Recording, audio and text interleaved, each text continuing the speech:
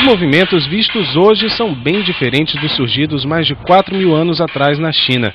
Mas a arte utilizada inicialmente como forma de meditação e que chegou a servir como técnica de guerra, hoje tem armas usadas apenas para as apresentações mais plásticas. Como o kata no karatê, os katis do Kung Fu são coreografados com nunchakus, espadas e lanças, e repetidos à exaustão para que saiam perfeitos. É a beleza o quesito que mais conta ponto nessa modalidade, que pode ser feita individualmente ou em grupo. Já entre as lutas, o Koshu se destaca e é popularmente chamado de boxe chinês. Além de luvas, exige uma série de equipamentos de segurança, como capacete com grade, protetores de boca, canela e tórax, além de coquilha para a área genital. No Kung Fu, atingir o adversário não basta. Os golpes precisam ter precisão. São três rounds de um minuto e meio cada, com intervalo entre eles de 30 segundos. Com descanso reduzido é preciso ter fôlego. É rápido, mas tem que estar ligado, né? Você também tem que estar disciplinado, tem que estar prestando atenção o tempo todo, não pode estar prestando atenção no público, as pessoas olhando, tem que estar realmente concentrado. Além de árbitro, Jonathan treina há quase quatro anos.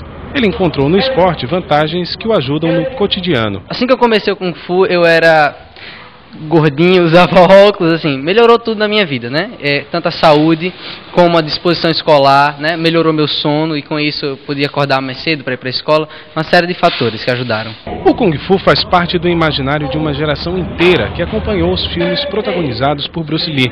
Na casa dos 30, Thiago faz parte desse grupo. Kung Fu eu resolvi fazer porque, em princípio, era um, um sonho de criança, né? E segundo porque o Kung Fu ele é, ele desperta aquela curiosidade da gente, né? A arte marcial chinesa. Comecei a treinar há seis meses e, é, e ela tem me ajudado muito na parte física, na parte mental, né? Ah, ajuda também na parte de concentração, né, de, de autodisciplina, autoconhecimento, de respeito ao próximo. Marcelo é presidente da Federação de Kung Fu Tradicional do Rio Grande do Norte e prepara fisicamente os atletas, sobretudo trabalhando a respiração. Para quem treina, é uma arte marcial completa porque tanto trabalha é, parte Kung Fu tradicional, como o Tai Chi Chuan, como o boxe chinês, né, que é o pessoal mais jovem e adolescente gosta de treinar, e queimar calorias, né?